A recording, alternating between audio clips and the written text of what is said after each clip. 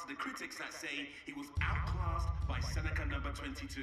I hope Ajit has done a good job tuning the suspension.